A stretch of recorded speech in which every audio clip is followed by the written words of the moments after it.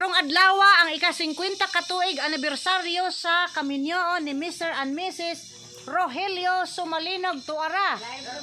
Matso. Oh, huli sa kamera. Okay, unya na na. Og kini usab ang among bisita karon nga espesyal nga bisita. Gikan sa kamanga si Ante Lucrecia. Og kini si Pastora Desi Wayang. Si Pastora Desi Wayang. Oh. Wayang yung apelido. Wayang. Murag Chinese, di ba? Oh, sige. Og si Moises.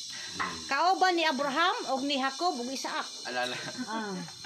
Nya topay na naog ikas taas. Okay. Okay, mag-pray na si Pin dali na Pin kay harong ma Ah, nagsagod ko mas Pin. Okay. Og si Brother Berhelio Gakrama mo ay mag-lead sa prayer sa wedding anniversary nila ni Manay og Kapila. nila. Kapila. 50. 50. Golden, golden. Golden. Sige, pagkaputa. Ginoo, nagpasalamat kami. Nining uh, adlaw sa celebration sa Yes, Lord. 50th year anniversary sa Magsuon. Many more anniversary will come. Yes, more Lord. blessings will come into their life. Yes, your Lord. family, And we declare the goodness of God Jesus Christ nga mga panlihok kaliwalan magbantay ka kay lamahan Amen. sila mga panlawas Yes, Lord. kahimtang din eh Ubani sa sa grasya o kaluoy kay ikaw man ang Diyos o kaluoy Yes, Yung man panalipdi kami sa among um, matag-usa labi na sa pag-uli ng sa Cebu Yes, Lord. Ubani kami sa imong grasya ang imong mga anghel de la guardia magauban ka namo.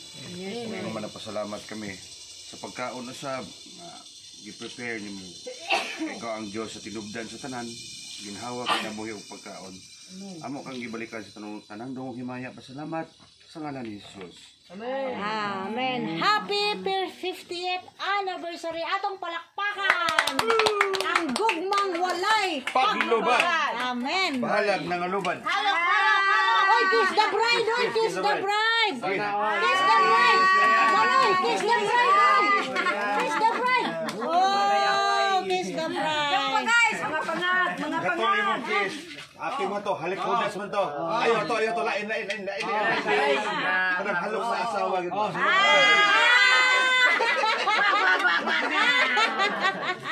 Lagot. Antang halok sa tibuwag na. Lemo na lang, nasulog.